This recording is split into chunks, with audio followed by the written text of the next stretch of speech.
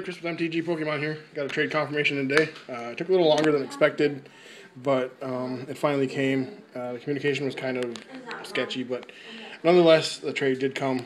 Um, so this is for ItsDlowe.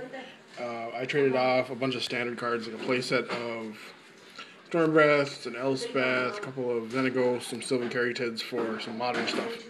Uh, so I got a Vendilion, Vendilion Clique, um, and then two Bitter Blossoms. So that's the trade, the bulk of it, and then these are extras back here. We have a Antiquities uh, strip mine, or Chronicles strip mine probably, uh, Expedition map, a Tuk the Explorer, a Legion Loyalist, and a Glaring Spotlight.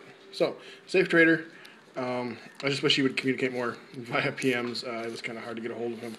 But the trade did get here nonetheless. Cards are in very good condition.